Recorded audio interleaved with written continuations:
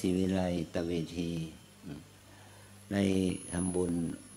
บูรณะปฏิสังขรณ์หอพระไตรปิฎกในโอกาสนี้เราจะทำเป็นพิพิธภัณฑ์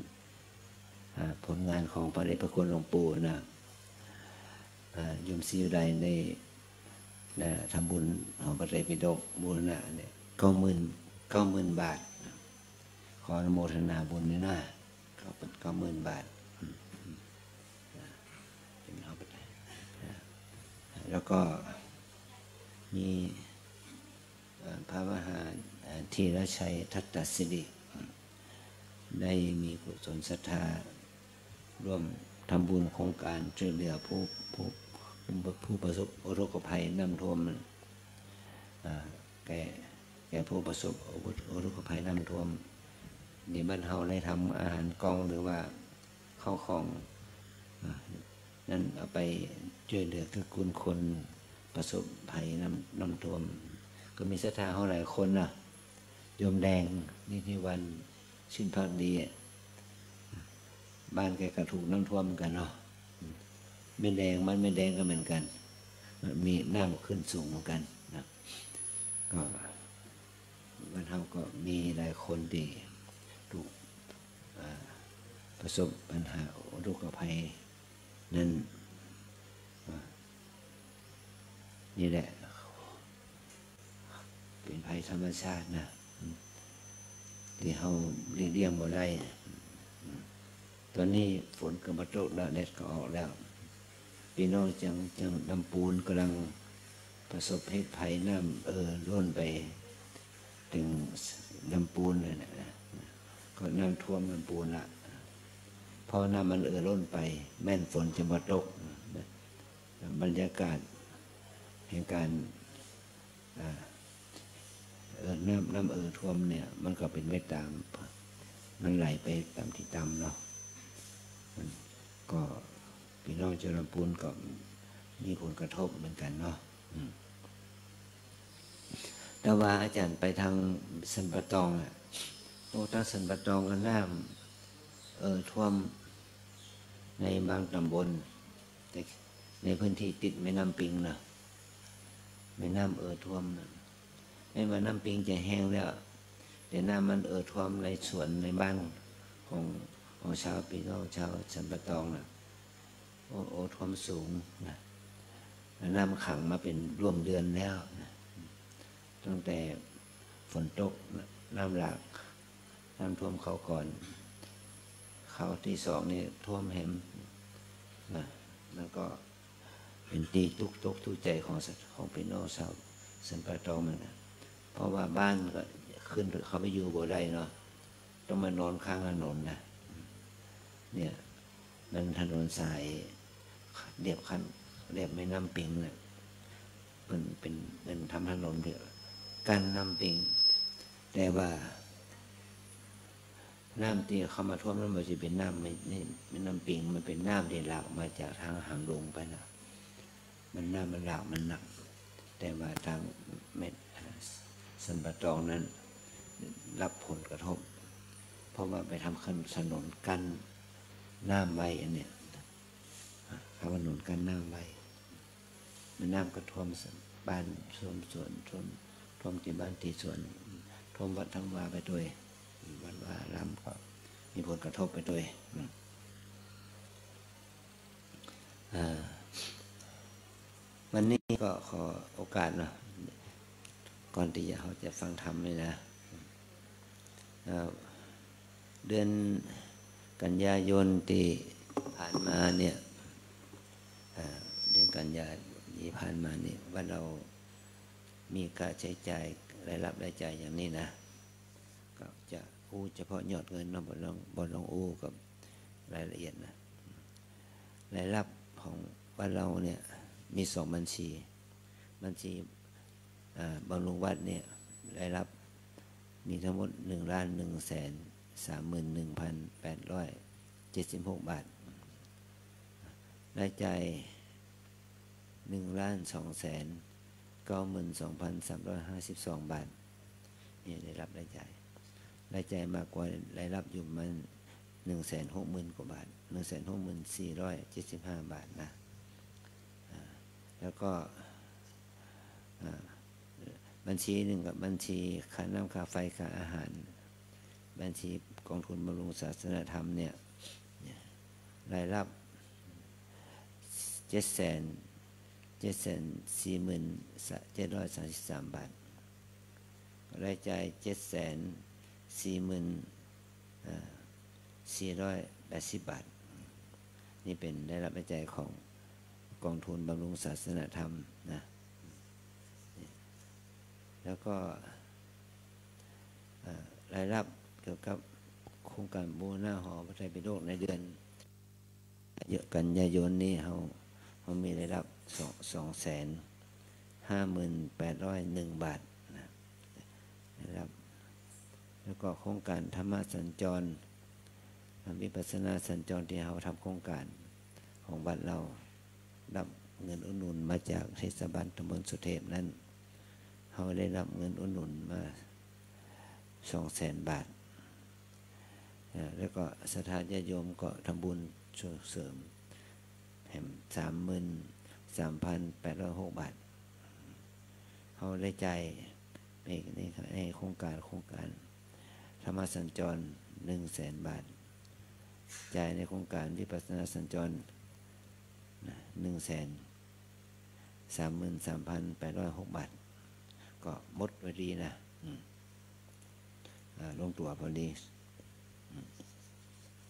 อันนี้โครงการเดือนกันยายนที่ผ่านมาเนาะก็ปัจจุบันนี้เขาก็มีกระถิน มีเจ้าภาพกระถิน อยู่ถึง นับตั้งแต่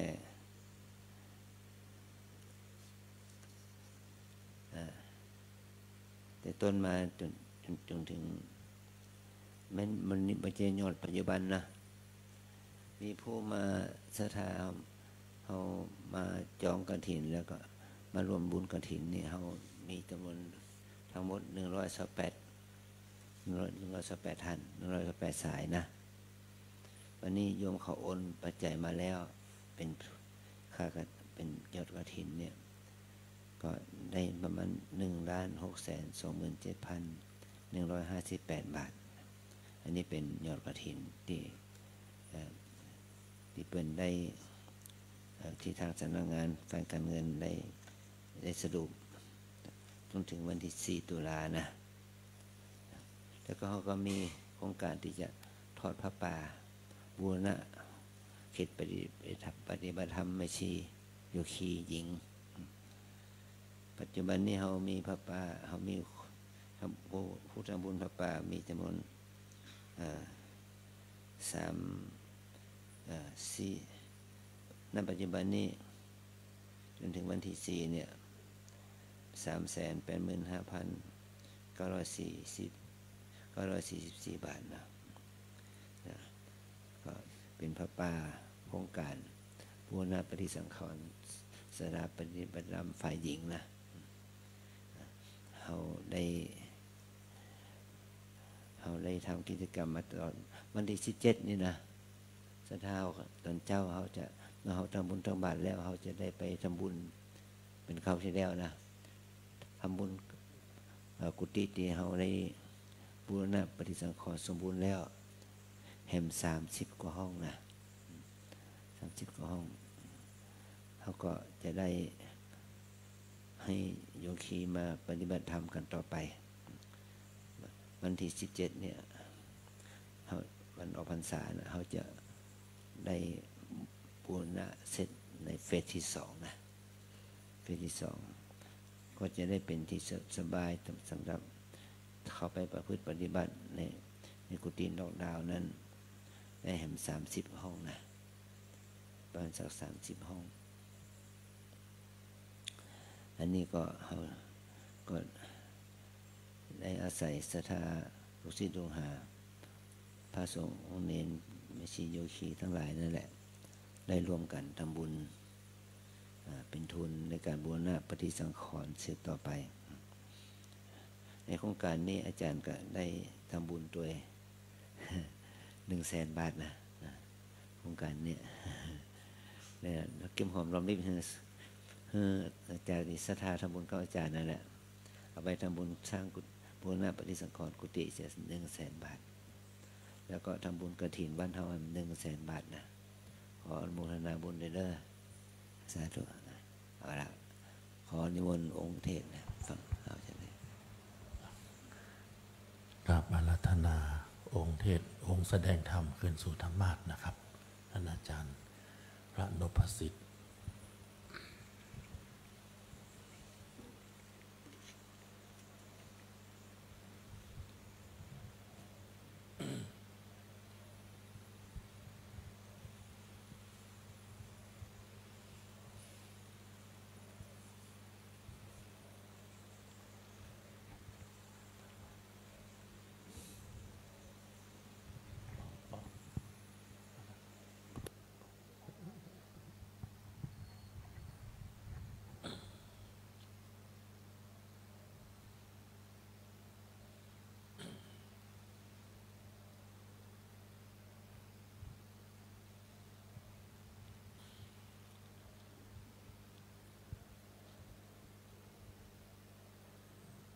เจริญสดาสาธุชนทุกท่านกราบพระรัตนตรัยพร้อมกันครับ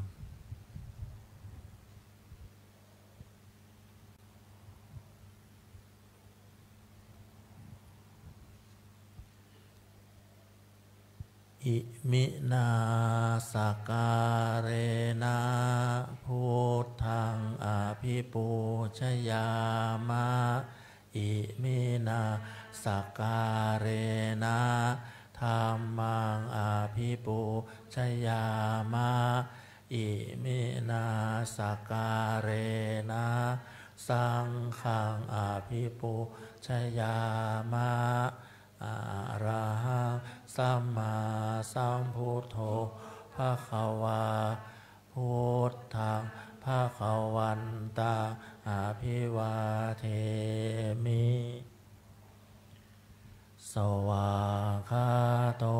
ภะคะวะตาธัมโมธัมมังนามัสสามิสุปฏิปันโนภะคะวะโตสาวกสังโฆสังฆนามามิมะมา ยังพันเตติสรเนนะสหะอาถังคาสมนาคาตังอุโปสถังยาจามาทุติยัมปิมายังพันเต ติสรเนนะสหะอาถังคาสมนาคาตังอุโปสถังยาจามา ตาติยัมปิมายังพันเต ติสรเนนะสหะอาถังคาสมนาคาตัง อุโปสถังยาจามานะโมตัสสะภะคะวะโตอะระหะโตสัมมาสัมพุทธัสสะนะโมตัสสะภะคะวะโตอะระหะโตสัมมาสัมพุทธัสสะ นะโมตัสสะภะคะวะโต อะระหะโต สัมมาสัมพุทธัสสะนะโมตัสสะภะคะวะโต อะระหะโต สัมมาสัมพุทธัสสะนะโมตัสสะภะคะวะโต อะระหะโต สัมมาสัมพุทธัสสะนะโมตัสสะภะคะวะโต อะระหะโตสัมมาสัมพุทธัสสะ พุทธังสรนังคัจฉามิพุทธังสรณังคัจฉามิธัมมังสรนังคัจฉามิธัมมังสรณังคัจฉามิ สังฆังสรนังคัจฉามิ สังฆังสรณังคัจฉามิ ทุติยัมปิพุทธังสรนังคัจฉามิทุติยัมปิพุทธังสรณังคัจฉามิ ทุติยัมปิธัมมังสรนังคัจฉามิทุติยมปิธรรมังสรนังคัจฉามิ ทุติยัมปิสังฆังสรนังคัจฉามิทุติยัมปิสังฆังสรนังคัจฉามิตติยัมปิพุทธังสรนังคัจฉามิตติยัมปิพุทธังสรนังคัจฉามิตติยัมปิธัมมังสรนังคัจฉามิตติยัมปิธรรมังสรนังคัจฉามิ ตติยัมปิสังฆังสารนังคัจฉามิตติยัมปิสังฆังสรนังคัจฉามิ ติสารณะขมนังนิธิตัง อามะพันเต ปานาติปาตาเวระมณีสิกขาปะทังสมาธิยามิ ปานาติปาตา เวระมณีสิกขาปะทังสมมาธิยามิอาทินนาทานาเวระมณีสิกขาปะทังสมาธิยามิอาทินนาทานา เวระมณีสิกขาปะทังสมมาธิยามิอะพัมมจาริยา เวระมณีสิกขาปะทังสมาธิยามิอะพรหมจริยา เวระมณีสิกขาปะทังสมมาธิยามิ มุสาวาทา เวระมณีสิกขาปะทังสมาธิยามิมุมุสาวาทา เวระมณีสิกขาปะทังสมมาธิยามิ สุราเมรยมัชฌะปมาทัฏฐานาเวระมณีสิกขาปะทังสมาธิยามิ สุราเมรยมัชฌะปมาทัฏฐานา เวระมณีสิกขาปะทังสมมาธิยามิวิกาละโภชนาเวระมณีสิกขาปะทังสมาธิยามิ วิการะโภชนา เวระมณีสิกขาปะทังสมมาธิยามิ นัจจะคีตะวาทิตะวิสุกะทัศนะ มาลาคันทะวิเลปนะทาลนะมันดานะวิภูสนะทานา เวรมณีสิกขาปทังสมาธิยามิ นัจจะคีตะวาทิตะวิสุกะทัสนะ มาลาคันทะวิเรปนะทารณะมันดนะ วิภูสนัฏฐานา เวระมณีสิกขาปะทังสัมมาทิยามิ อุจจาสยนะมหาสยนาเวระมณีสิกขาปะทังสมาธิยามิ อุจจาสยนะมหาสยนา เวระมณีสิกขาปะทังสัมมาทิยามิ อิมังอัตถังคาสมนาคาตัง พุทธปัญญตัง อุโปสถัง อิมันจะรติง อิมันจะทิวาสัง สัมมาเทวะอภิรักขิตุงสมมาทิยามิทุติยัมปิอิมังอัถังคสมนาคตัง พุทธปัญญตัง อุโปสถัง อิมันจะรติง อิมันจะทิวาสัง สัมมาเทวะอภิรักขิตุงสัมมาทิยามิตติยัมปิอิมังอัถังคสมนาคตัง พุทธปัญญตัง อุโปสถัง อิมันจะรตติง อิมันจะทิวสัง สัมมาเทวะอภิรักขิตุงสัมมาทิยามิ อิมานิอัตถสิกขาปทานิ อุโบสถวเสนะมณสิกลิตตาวา สาธุกัง อัปปมาเทนะละกิตตัพพานิอาอามะพันเต สีเลนะสุขตินยันติ สีเลนะโภกสัมปทา สีเลนะนิพพุติงยันติ ตัสมาสีลังวิโสทะเยอามาอาพันมะพันเต เต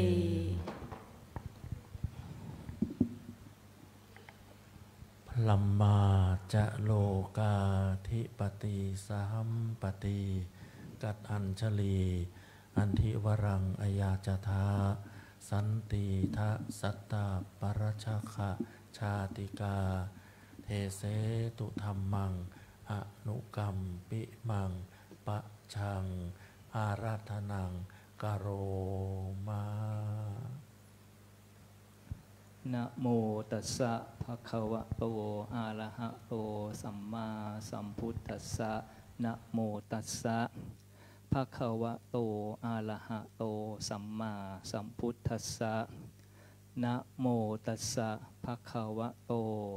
อะระหะโตสัมมาสัมพุทธัสสะอิทังวุจติภิกขเว อนุรักษนาปัปทานันติ ขอความนอบน้อมของข้าพเจ้า จงมีแด่พระรัตนตรัยขอถวายความเคารพพระเดชพระคุณพระภาวนาธรรมาภิรัตเจ้าคณะอำเภอเมืองเชียงใหม่ เจ้าอาวาสวัดลำเปิงตะโปธาราม เจ้าสำนักปฏิบัติธรรม ประจำเชียงใหม่แห่งที่สองด้วยความเคารพอย่างสูง ตลอดถึงพระเถรานุเถระ พระมชชิมะ พระนวกะทุกลูก ด้วยความเคารพ ขอเจริญพรมายังพุทธศาสนิกชน ผู้ใฝ่ในธรรมทุกๆทท่านที่อยู่ณวัดลำเปิง ตะโปธารามแห่งนี้ และญาติโยมที่อยู่ในโซเชียลของวัดลำเปิงทุกๆทท่านณบัดนี้จากรับประทานพระธรรมเทศนาในอนุรักษ์คณาปทากถา ว่าด้วยความเพียรในการรักษากุศล กุศลธรรมความดี เพื่อเป็นเครื่องประดับประคับประคอง ฉลองศรัทธา ประดับสติปัญญาบารมี เพิ่มพูนบุญกุศล บุญราศีแด่ท่านสาธุชน คนดีทั้งหลาย ผู้ที่ตั้งใจสดับรับฟังพระเทศนา ขอให้ท่านสาธุชนผู้ที่มีศรัทธา อุบาสก อุบาสิกา ผู้ที่มีใจบุญทุกๆทท่าน ได้โปรดตั้งโสตประสาทของท่านให้เป็นประหนึ่ง ภาชนะทองคำรองรับพระสัทธรรมเทศนาเพื่อให้เกิดธรรมสวนานิสงส์ตรงตามความมุ่งหมาย 5 ประการ แห่งการฟังธรรม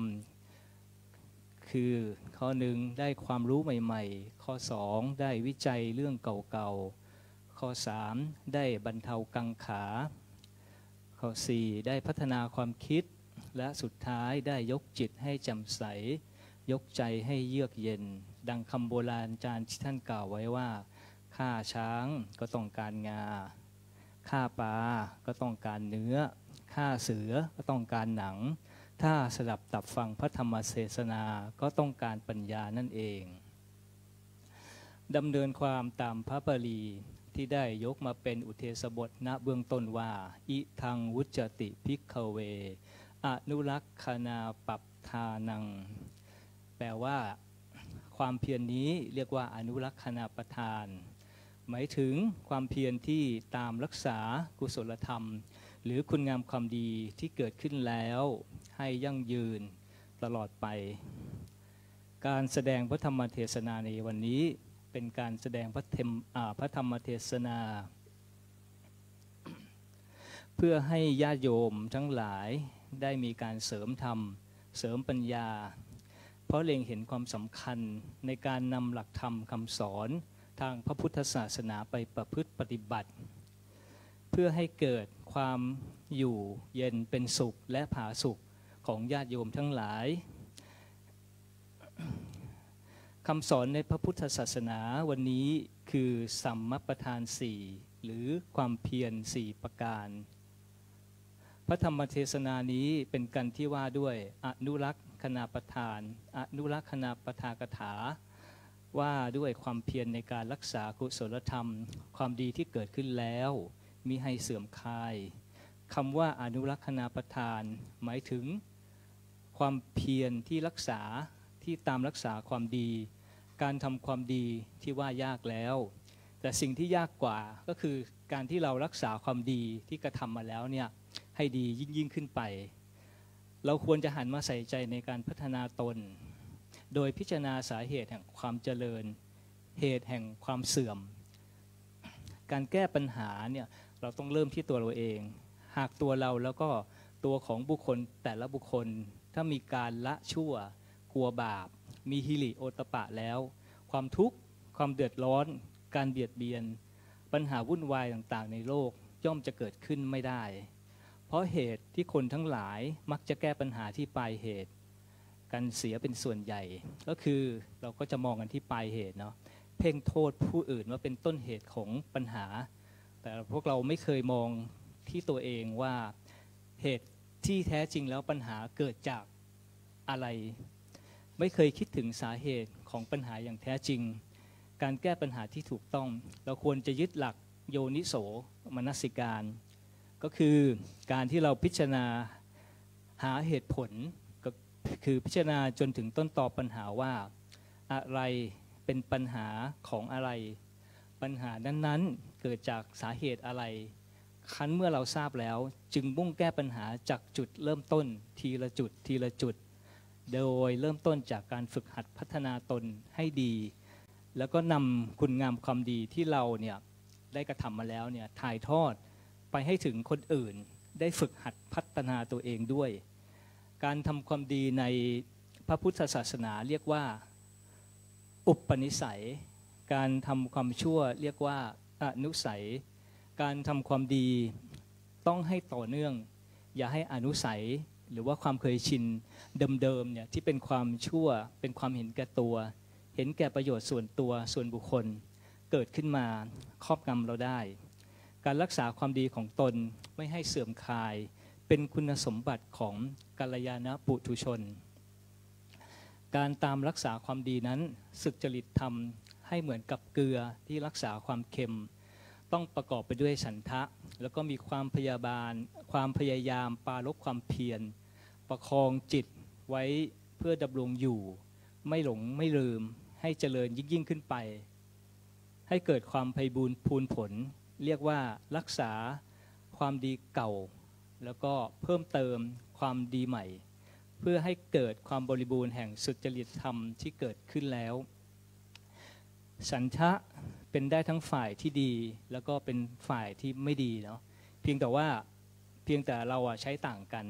เมื่อกล่าวถึงความปรารถนาความอยากในทางที่ไม่ดี ก็จะใช้คำว่าตัณหา ซึ่งตัณหาก็แปลว่า ความอยากได้ อยากมี อยากเป็น ถ้าเราจะใช้ในทางที่ตรงกันข้าม เราจึงใช้คำว่า ฉันทะ ที่แปลว่า ความพอใจ เป็นความหมายของกัตตุกรรมยตา ฉันทะ ความพอใจ ความประสงค์ที่จะกระทำกุศลธรรม ฉันทะ ความพอใจในกุศลธรรม ดังนั้นจึงเป็นอันทำความตกลงใจความได้ว่า ถ้าใช้ฉันทะเพียงสับเดียว จะหมายถึงความปรารถนา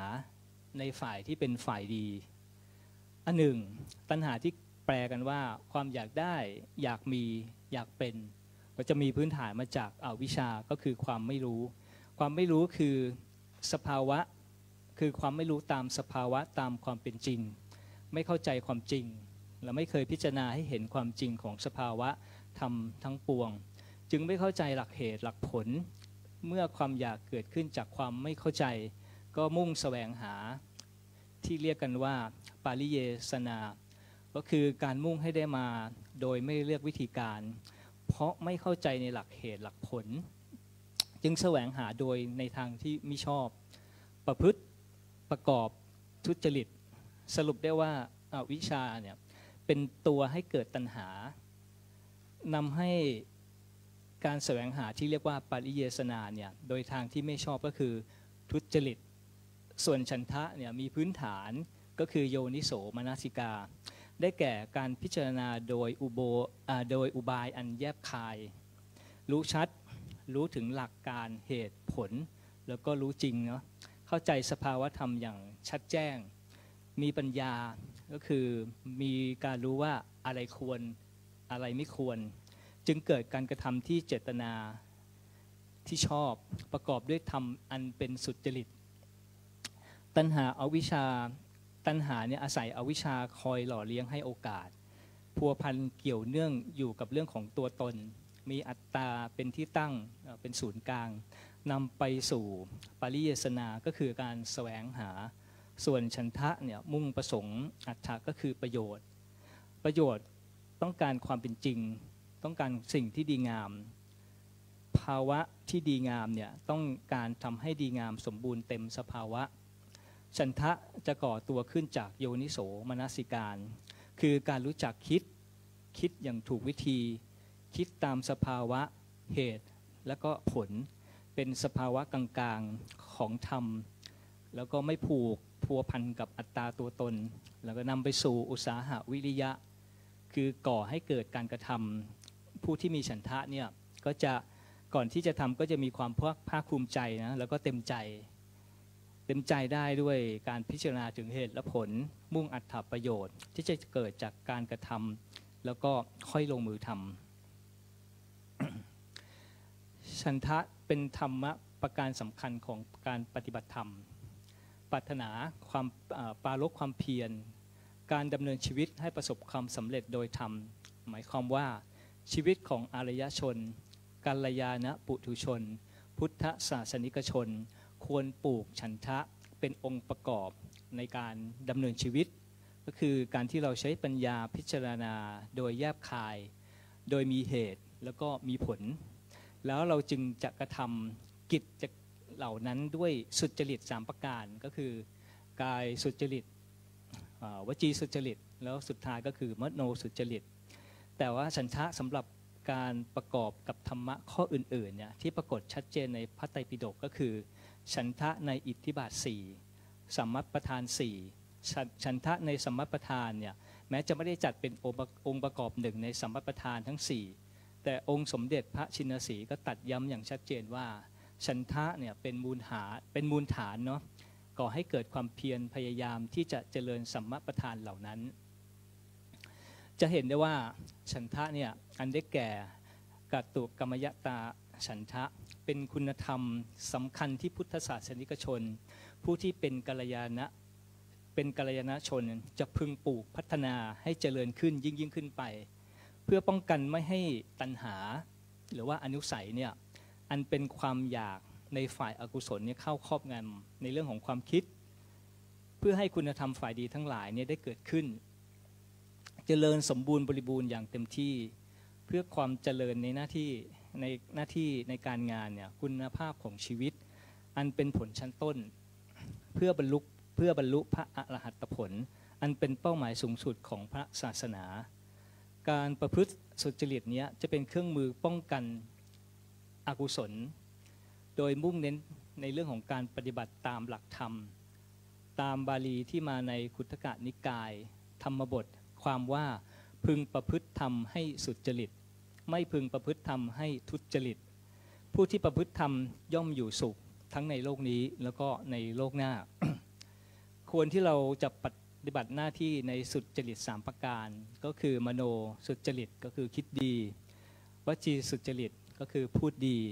กายสุดจริตก็คือการทำความดี ผู้ที่ประพฤติปฏิบัติธรรมเช่นนี้ย่อมจะมีหลักประกันในชีวิตว่าชีวิตจะไม่ตกต่ำอย่างแน่นอน ด้วยว่าหลักธรรมที่ประพฤตินั้นเนี่ยก็ย่อมที่จะรักษาปกป้อง แล้วก็คุ้มครอง ให้ผู้ที่ประพฤติปฏิบัติเนี่ยประสบความสำเร็จก็มีความสุขนะผู้ประพฤติปฏิบัติธรรม ชื่อเรียกว่ารับการคุ้มครองรักษาไม่ให้ตกไปในอบาย แล้วก็ไม่ให้ตกไปในที่ชั่ว มโนสุจริตหมายถึงการทำความดีทางใจ คิดในเรื่องที่ดี ซึ่งเป็นการทำความดีผ่านทางจิต ความคิดเป็นลำดับแรกแล้วก็สำคัญที่สุด เพราะว่าการกระทำทั้งปวงของมนุษย์ทางกายเนี่ยวาจา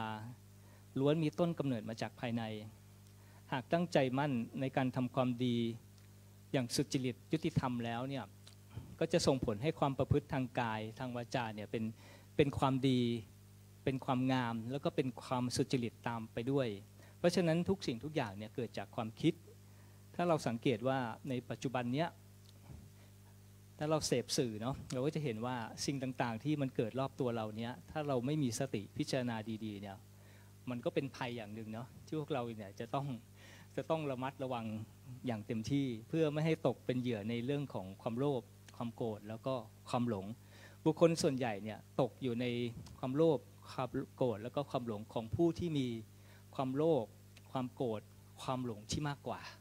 ก็ทำให้ผู้ที่ตกเป็นเหยื่อเนี่ยได้รับความเดือดร้อนนะ ราะฉะนั้นเนี่ยเราจึงควรที่จะระมัดระวังเนี่ยอกุศลเนี่ยไม่ให้มันเกิดขึ้น เมื่อมโนสุจริตมีความสำคัญเช่นนี้แล้วเนี่ยก็จึงควรพิจารณาธรรมที่ส่งผลให้เกิดมโนสุจริตอย่างเป็นรูปธรรมก็คือสัมมาทิฏฐิสัมมาทิฏฐิก็คือความเห็นถูกเป็นคุณธรรมข้อแรกในมรรคมีองค์ 8อาตมาขอขยายความคำว่าสัมมาทิฏฐิ สัมมาทิฏฐิเนี่ยจะประกอบไปด้วยความเห็นถูก 10 ประการเนาะประการหนึ่งก็คือ ทานที่ให้แล้ว ทานที่ให้แล้วเนี่ยมีผลจริงสองบุญที่ทำแล้วก็มีผลจริง ก็มีผลจริงเช่นกันสามการบูชาก็มีผลจริงสี่กรรมดีกรรมชั่วมีผลจริงห้าโลกหน้ามีจริง กโลกนี้มีจริงเจ็ดมันดามีคุณจริงแปดบิดามีคุณจริงเก้าโอปาติกะโอปาติกะสัตว์นั้นมีอยู่จริง สุดท้ายพระอรหันต์สามารถรู้แจ้งโลกนี้และโลกหน้าก็ยังมีอยู่จริงสำหรับคำว่าโอปาติกะ หมายความว่า ผู้ที่ผุดเกิดโดยอาศัยอดีตกรรม แล้วก็ไม่ต้องมีพ่อมีแม่เนาะ พอตายไปก็ไม่ปรากฏซากเนะก็ได้แก่เทวดา พรหมสัตว์นรก เปรตแล้วก็อสุรกาย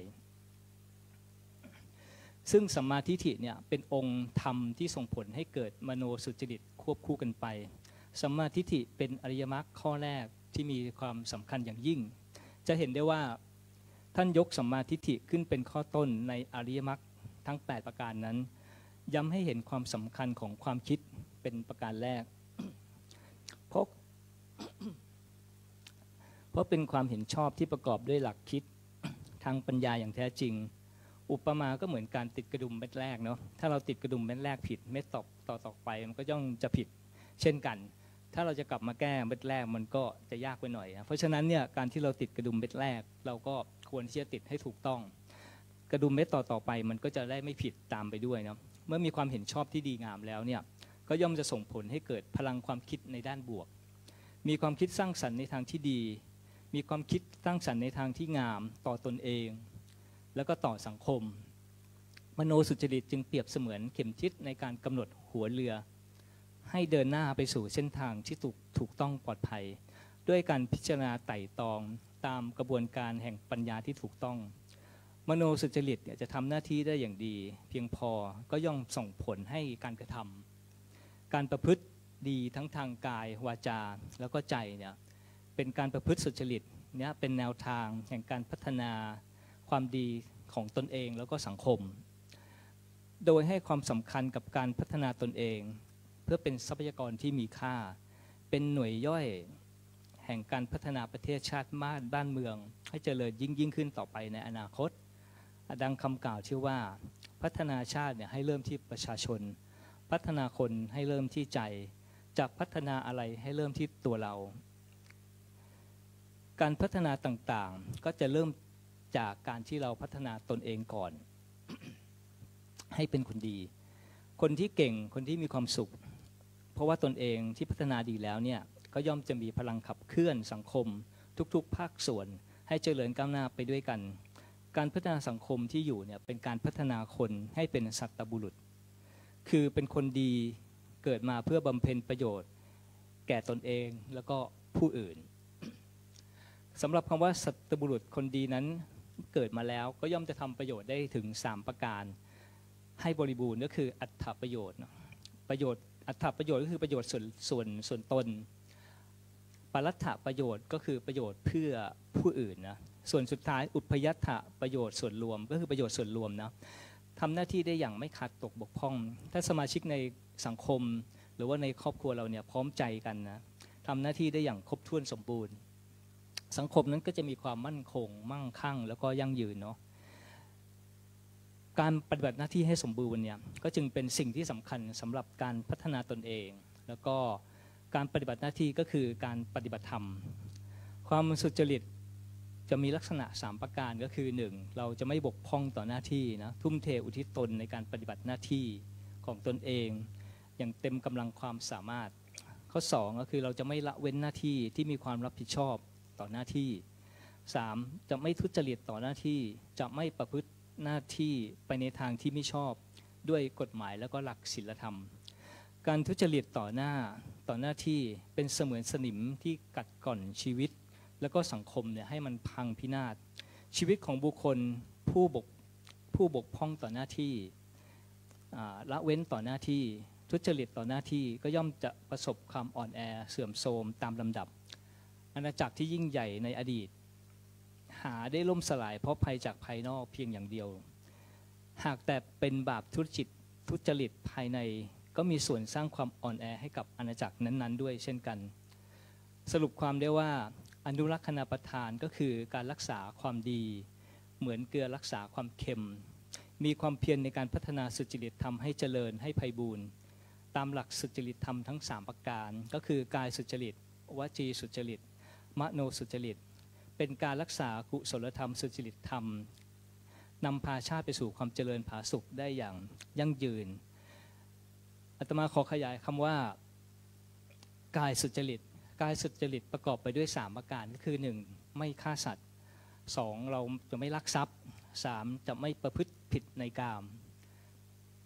ส่วนวจีสุจริตประกอบไปด้วย4เนาะก็จะมีการไม่พูดเท็จ การไม่พูดส่อเสียด การไม่พูดคำหยาบ แล้วก็การที่เราไม่พูดเพ้อเจ้อส่วนมโนสุจริตก็จะประกอบไปด้วยหนึ่งความไม่โลภสองความไม่พยาบาทสามมีสัมมาทิฏฐินะ สุดท้ายก่อนที่จะยุติการบรรยายธรรมอาตมาก็ขอพวกเราทุกคนนะอนุโมทนาบุญสำหรับการเทศในวันนี้เนี่ยอาตมาจะขอมอบให้กับพระอาจารย์เจ้าคุณ พระภาวนาธรรมาพิรัตให้ท่านได้แบ่งปัจจัยส่วนนี้ไปใช้ในการสร้างบุญสร้างกุศลต่อไป ก็ขอให้พวกเราทุกคนนะได้ร่วมอนุโมทนาบุญในการครั้งนี้ด้วยกันทุกคน เทศนาปริโยสานี ในอวสานเป็นที่สุดแห่งพระธรรมเทศนานี้ รัตนตยานุภาเวนะ รัตนตยาเตชะสา ด้วยเดชะบารมีแห่งคุณพระศรีรัตนไตยแล้วบุญกุศลที่เกิดจากธรรมะสวนัย การฟังธรรมนี้ขอจงรวมกันมาเป็นตบะ มาเป็นเดชะ เป็นภารวะปัจจัยอำนวยอวยพรให้ท่านทั้งหลาย จงปราศจากความทุกข์ ความโศก ปราศจากโลกปราศจากภัย แล้วก็มีความสุขมีความเจริญยิ่งยิ่งขึ้นไป ในร่มธรรมแห่งองค์สมเด็จพระสัมมาสัมพุทธเจ้า เจริญยิ่งด้วยอายุวันนะสุขะภาละปฏิพานธรรมสารสมบัติ ธนสารสมบัติ ปรารถนาสิ่งใดที่ชอบด้วยประการด้วยธรรม ขอให้ความปรารถนานั้นๆ จงพันสำเร็จ สมมโนรถมุ่งตามปรารถนาทุกประการ รับประทาน แสดงพระธรรมเทศนาในอนุรักษ์ในอนุรักษณปทากถา ว่าด้วยความเพียรในการรักษากุศลธรรมความดีพอสมควรแก่เวลา จึงขอสมมุติยุติลงไว้แต่เพียงเท่านี้เอวังก็มีด้วยประการละชนี้ อันธรรมยังสาธุกลังกโรมาเสทุสาธุสา ธุครับสำหรับเจ้าภาพที่จะเป็นตัวแทนคณะสัตยาถวายคันเทศวันนี้นะครับเนาะคุณแม่อย่างก็กัลยาเนาะแม่กัลยานะครับนะได้ใส่แว่นไหมสุบาต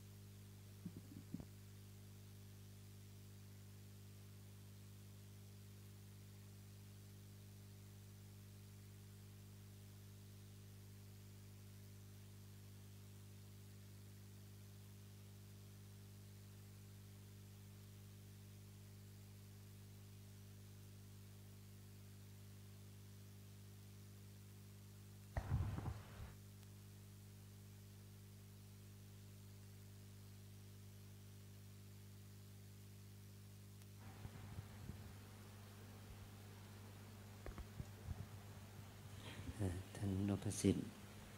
ในเทศทำแล้วกันเทศมาถวายหนึ่งหนึ่งพันสองร้อยสามสิบสี่บาทหน้าอ่ากันเทศ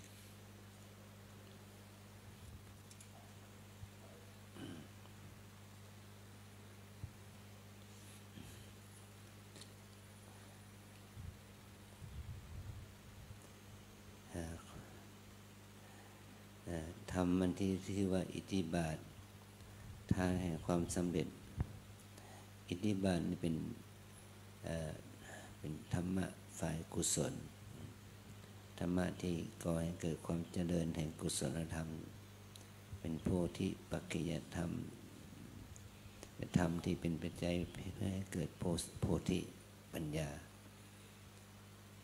ฉันทะนั้นมีอยู่ในคำว่าอธิบดี อธิบดีนั้นแปลว่าความเป็นใหญ่ฉันทะก็เป็นอธิบดี แล้วฉันทะที่เป็นอิทธิบาท นั่นเป็นเป็นเป็นทางให้ความสำเร็จแห่งมรรคผล แต่ฉันทะที่เป็นอธิบดีนั้นเป็นธรรมะที่เป็นฝ่ายทางกุศลและอกุศลอ่า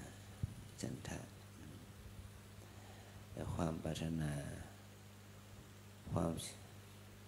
ฉันทะความพอใจความปรารถนาให้เราทั้งหลายมีคำว่ากุศลฉันทะฉันทะที่เป็นเป็นไปในในกุศลธรรม มีความได้แก่การบำเพ็ญทานรักษาศีลภาวนาเนี่ยเป็นกุศลฉันทะ เราทั้งหลาย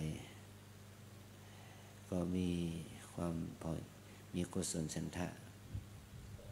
เกิดขึ้นจึงได้ทำกิจกรรมมาไหว้พระสวดมนต์ภาวนานะ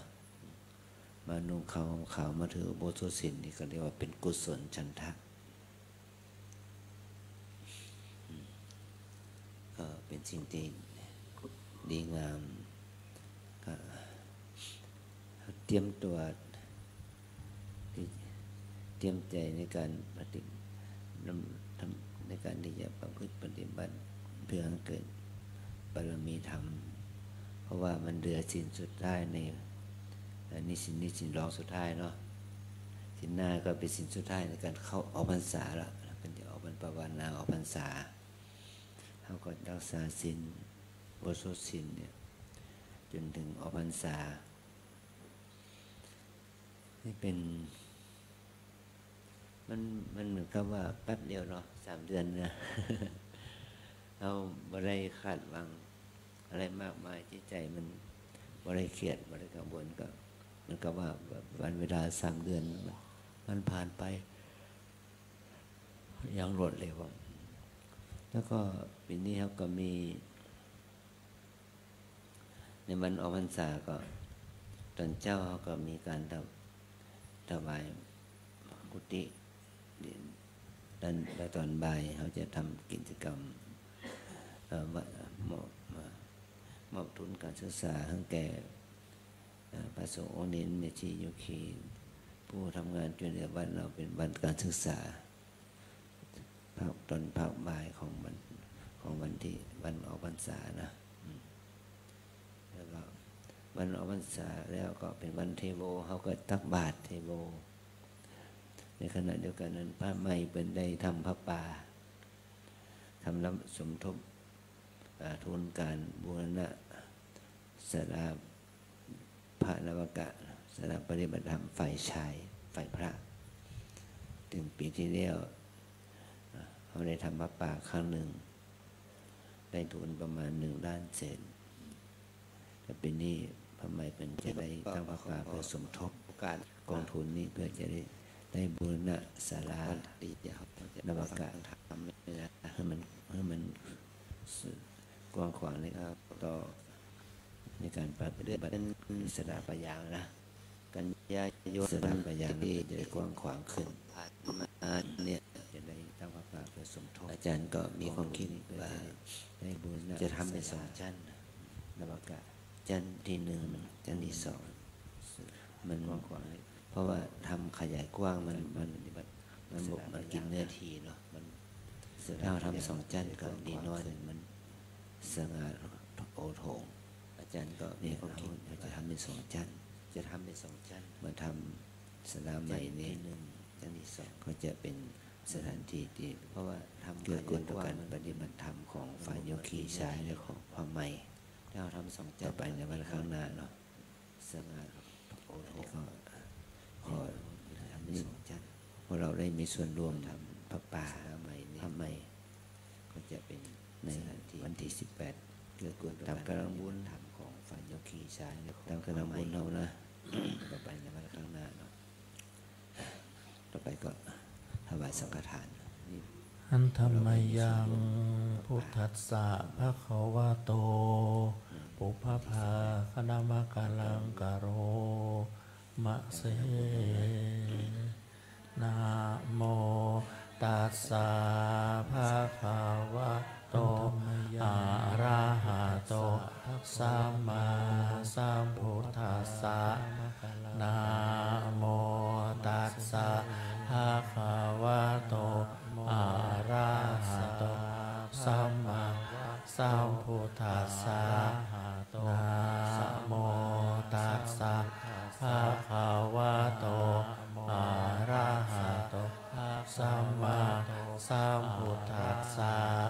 อิมานิมายาหันเตอาตานิสาปาริวารานิหิขุสังคัสสะโอโนชยมาสาธุโนพันเตหิขุสังโฆ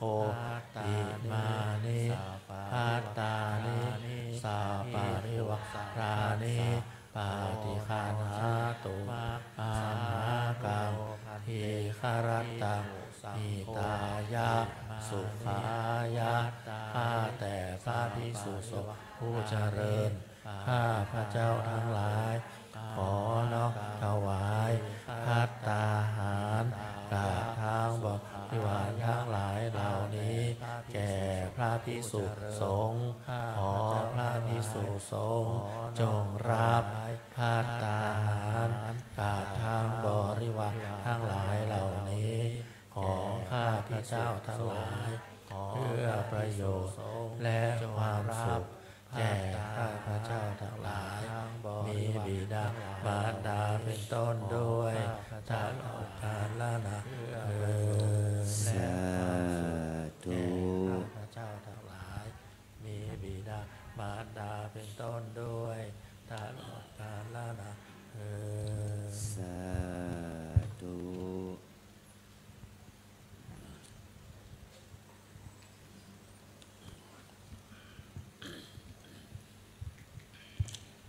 ปอนเนอ ยะถาวาริวหาปุราปาริปุเรนติสาคารังปอนเอเอวะเมวะอิโตตินังเปตานังอุปกัปติอิจฉิตังปัตถิตังตุมหังขิปปะเมวะสะมิชฌะตุ สัพเพปูเรนตุสังกัปปาจันโทปัณณะระโสยะถามะณิโชติระโสยะถาสัพพีติโยวิวัชชันตุสัพพะโรโควินาสตุมาเต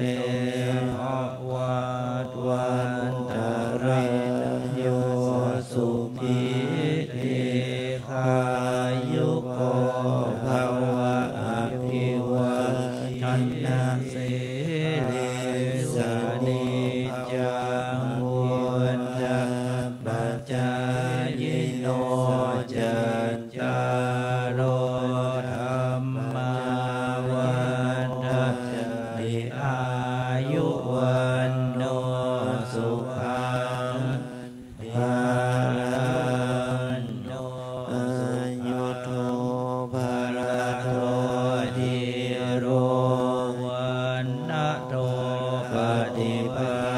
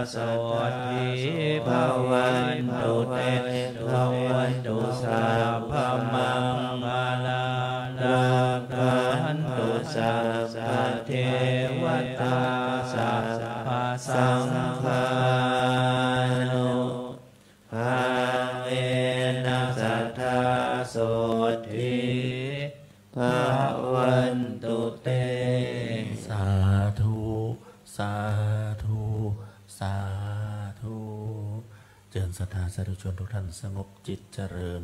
ภาวนากุศล เวลาสักครู่ครับ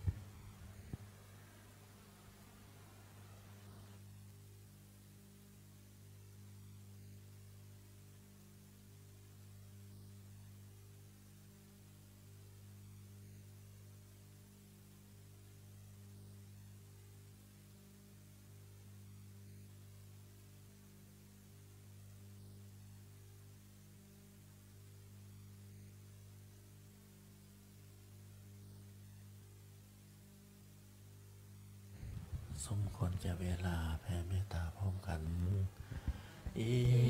ตังตานากัมมังนิพพานาปัจจัย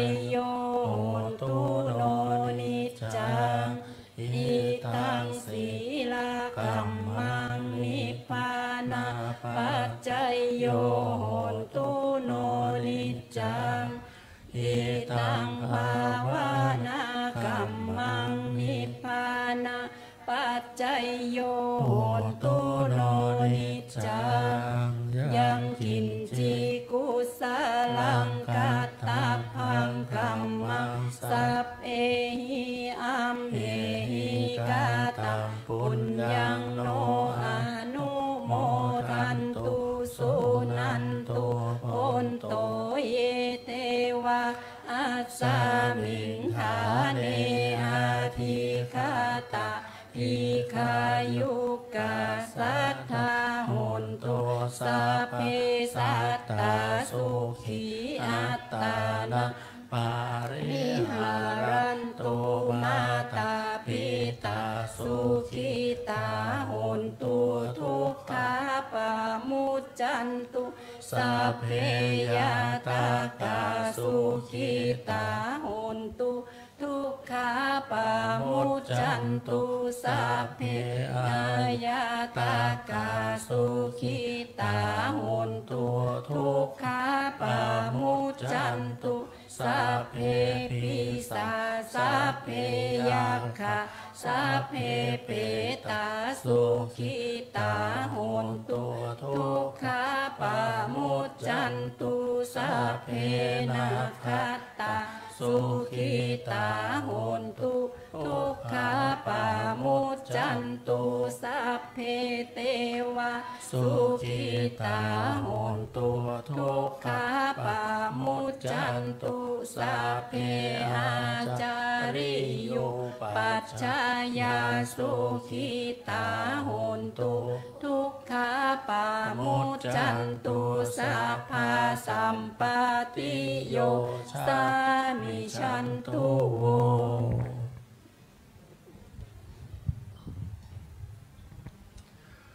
วันตา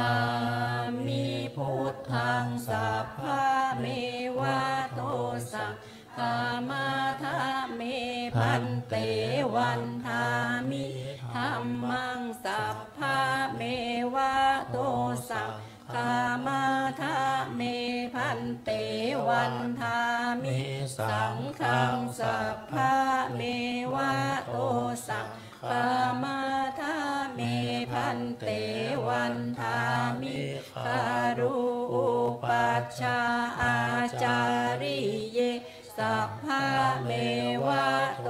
สังฆามะทาเมพันเตวันทามิกัมมัฏฐานังสัพพะเมวะโตสังฆามาทาเมพันเตวันทามิอารามิพัทธสีมัง สัพพะเมวะโตสังฆามาทาเมพันเตวันทามิเจติยังสัพพังสัพพทาเนสุปฏิทิตาสารีราธาตุมหาโพธิพุทธารูปังสักการังสัท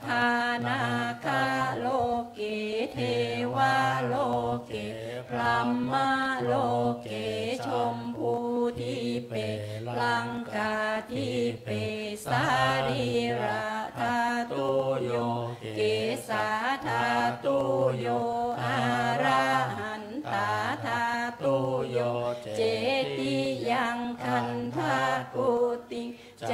ตุราสีติสาสเสธรรมะขันเทสัพเพสัมปาทาเจติยังอาหังวันทามิสัพพโส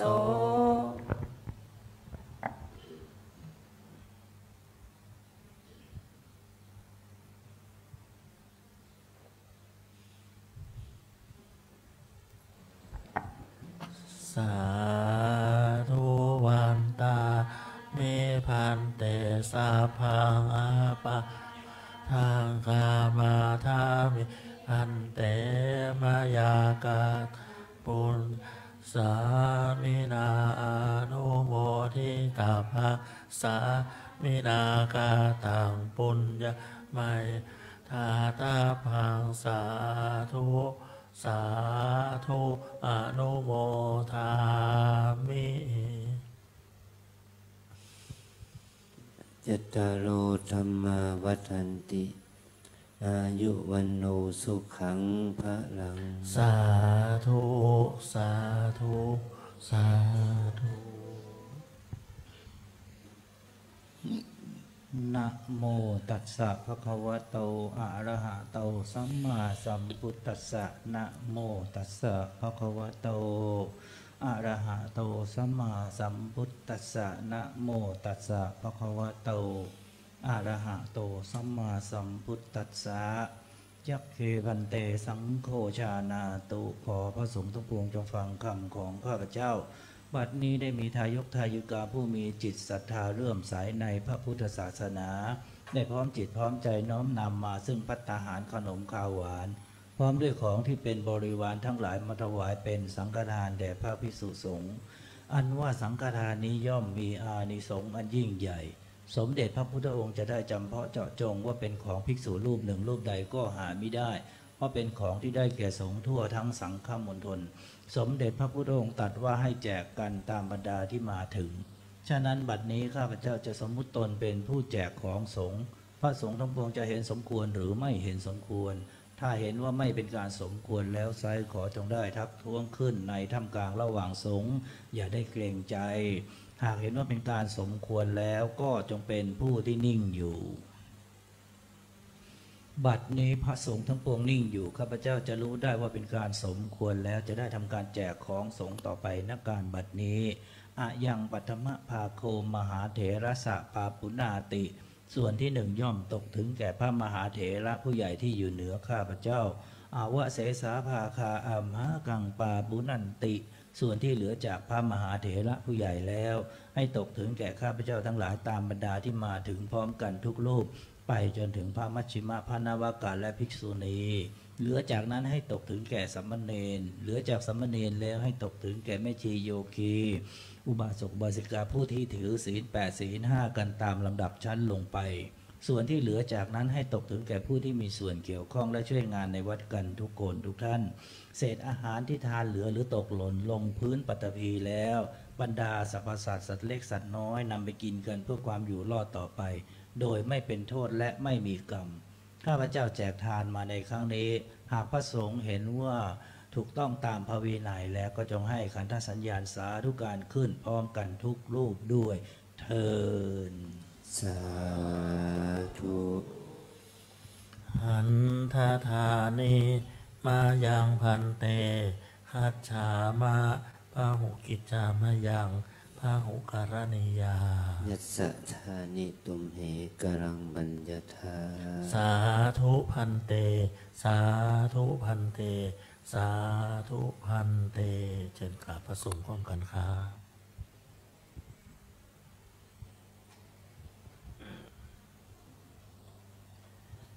ไปพระพร้อมกัน อะระหังสัมมาสัมพุทโธภะคะวาพุทธะภะคะวันตะอาภิวาเทมิสวาหาโตภะคะวะตาธัมโมธัมมังนะมาสะอามิ สุปฏิปันโนภะคะวะโต สาวกสังโฆสังฆังนามามิเป็นอันเสร็จพิธีกรรมนะครับเนาะวันนี้คนใส่บาตรนั้นหนักพอสมควรนะครับเนี่ยเกินความคาดหมายของผม แต่ว่าคนฟังธรรมนั้นอาจจะน้อยไปหน่อย